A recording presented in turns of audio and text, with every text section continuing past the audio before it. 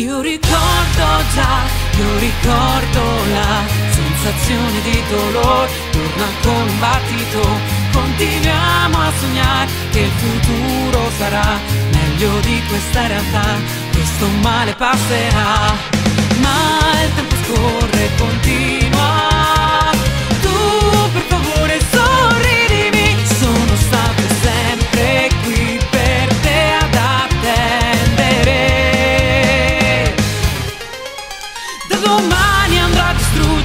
distruggere il cielo intorno a me. Ti verrò a cercare al di là del mio dolore e il male Ma anche se dovessero passare gli anni ti vorrei ritrovare qui al mio fianco e so che ti sorriderò. Se questo mondo ci ha divisi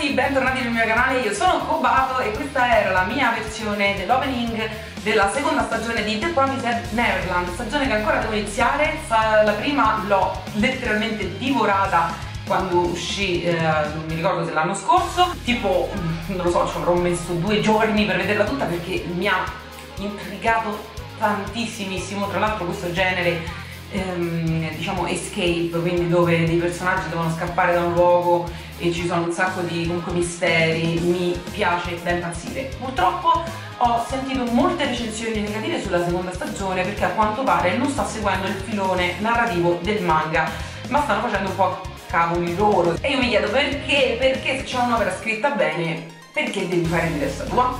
Ed è per questo che Attack on Titan resta mio anime preferito, poi basta. Io se non ce lo inserisco in ogni video non sono contenta, perché comunque The Promised Neverland, per chi non lo sapesse, insomma, ehm, la trama eh, appunto gira intorno a questo gruppo di ragazzini che vivono dentro questo orfanotrofio che però a seguito di alcune cose che scoprono devono scappare, però mh, non riescono perché c'è comunque tutto un muro intorno a questo posto. Eh, Cioè, ragazzi, ma che cosa vi ricorda? Le mura che sono alte, non ci si può arrampicare, insomma, mi ricorda dai, ormai è palese. Detto ciò, detto ciò, questa appunto era la mia versione, spero che vi sia piaciuta, è stato penso abbastanza impegnativo, eh, ho voluto mangiare più o meno i personaggi con camicia e scritta del numero questo di Emma sul collo, nonostante che il mio personaggio preferito è Norman. Detto ciò, io vi aspetto di nuovo qui con la prossima opening in italiano, ma non solo, perché vi porterò altri contenuti e soprattutto potremo chiacchierare un po', potremo conoscerci meglio dopo tanti anni e alla mia veneranda età mi sono decisa effettivamente a parlare, cioè a fare qualche vlog, qualche video un po' più personale, sui miei gusti, sulle mie abitudini, eccetera, eccetera. Spero che lo accoglierete, li accoglierete con entusiasmo, l'entusiasmo che mi avete mostrato ultimamente da quando sono tornata attiva su YouTube. E niente, io adesso vi saluto, ci vediamo al prossimo video. Ciao!